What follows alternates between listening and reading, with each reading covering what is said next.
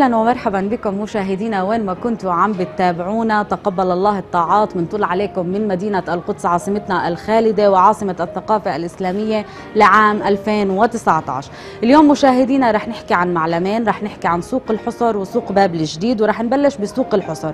نحن حاليا متواجدين في سوق الحصر في البلدة القديمة من عاصمتنا المحتلة.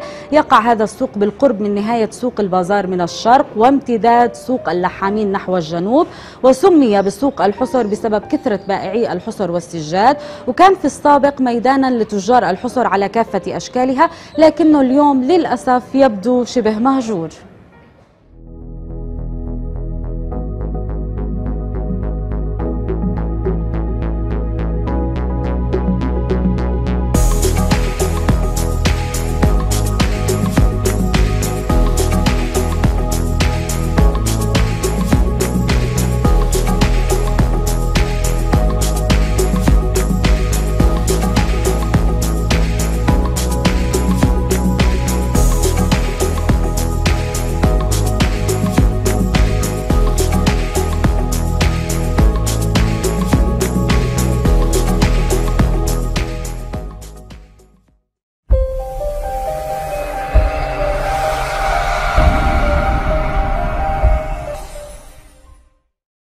المكان اللي بيقدر يجي من باب العمود لسوق الحصر ممكن يخش من باب من ينزل من باب العمود على باب خان الزيت على سوق العطارين وبعدين يخش سوق البزار هذا أوله. خمسة متر على على الشمال بيجي سوق الحصر. سوق الحصر هذا السوق اللي بيمتد من أو بيتفرع عن سوق البزار وانت طالع على باب الخليل بيكون على الجهة اليمين هو سوق صغير. عدد المحلات اللي فيه لا يتجاوز سبع ثمان محلات.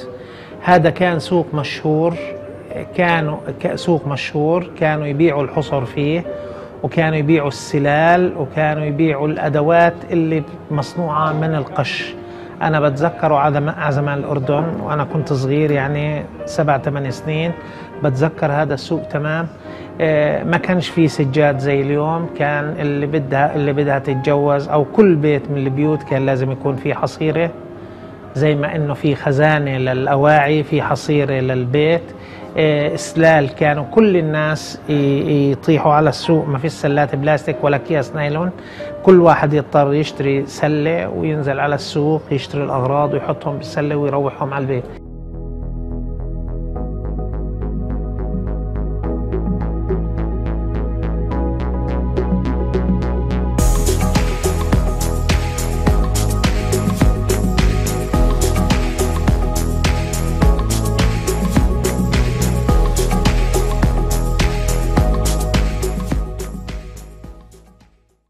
المحل هذا كان لرحمة الوالد وإحنا صغار كنا نضل موجودين عند الوالد. كان المحل هذا يعني يجوا ناس خصوصي للحصر والسلال والمكانس والأشياء هذه كلها.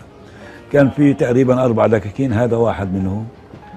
وفي هناك اثنين كان وواحد اللي قباله كمان. هذول كلهم للمكانس. مكانس و حصر وكان الأجانب يجوا على هون ياخذوا الحصر ياخذوا الإطباق هذه كمان. في نفس الوقت من الشارع هذا وابن الشارع كان في واحد الله يرحمه كان يشتغل في قاعدة كيب كندا.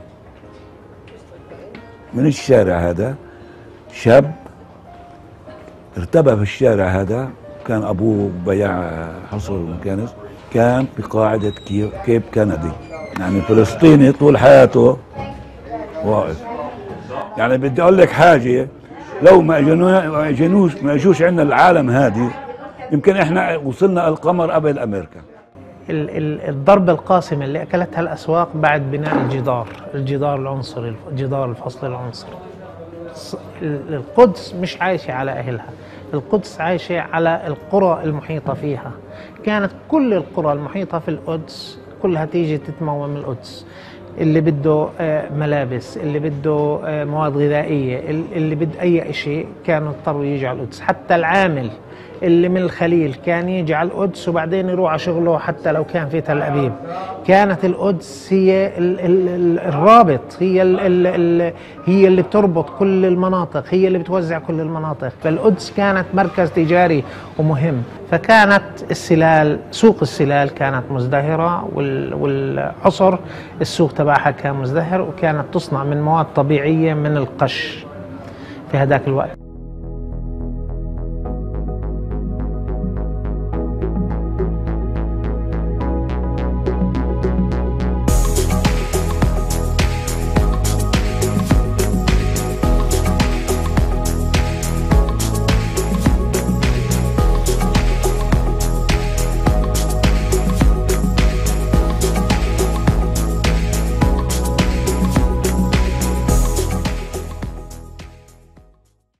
سوق باب الجديد سوق باب الجديد آه، تقريبا طول حياته يعني.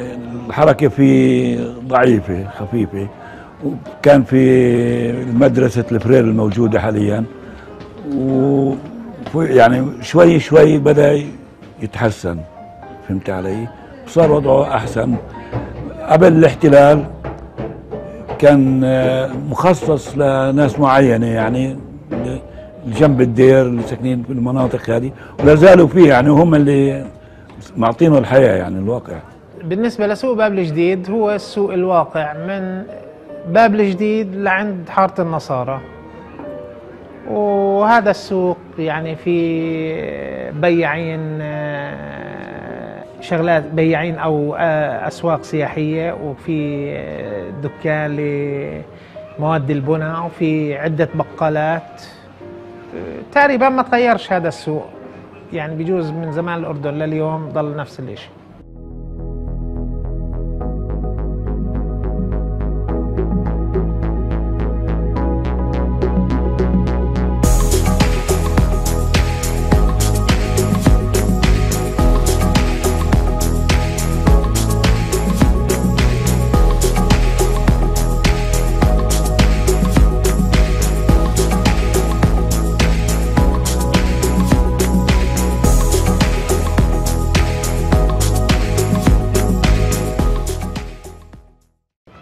من سوق الجديد إذا حبيت تخشي البلد القديمة تيجي برضه باب خان الزيت سوق العطارين شارع البزار تطلع على باب الخليل باب الخليل على إيدك اليمين بكون باب جديد فهمت علي؟ وإذا كان بدك تختصر تختصر المسافة تطلع من باب العمود على باب جديد دغري بكون في حوالي 200 متر 300 متر فاهم علي؟ بتقدر تصلي له بكل بساطة. سوق باب الجديد في حلاقين.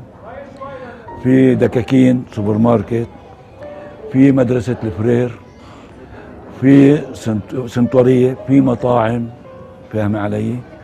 وفي صرافين كمان.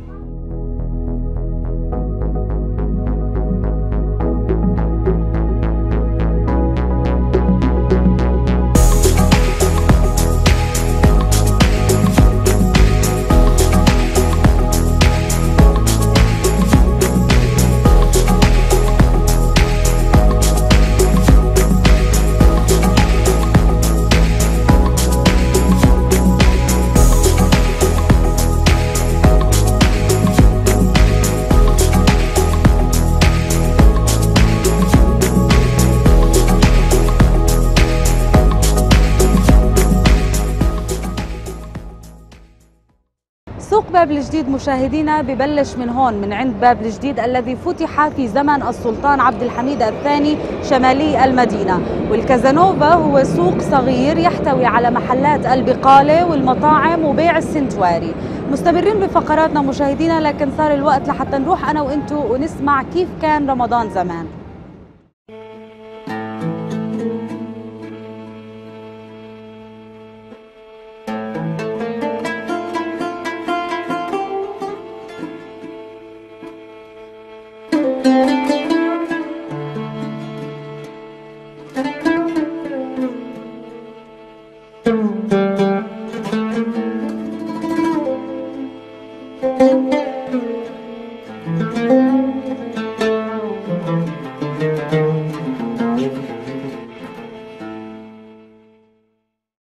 كان رمضان يكون بهجة وألفة و- وعلاقات اجتماعية وكان يجي ناس من برا يعني من المغرب من العراق من مصر الكل يجي هون. لقيت مسكرة. حتى تعون الضفة الغربية وتعون غزة بيصلوش عشان هيك يعني ما إلوش يعني مكمود الناس.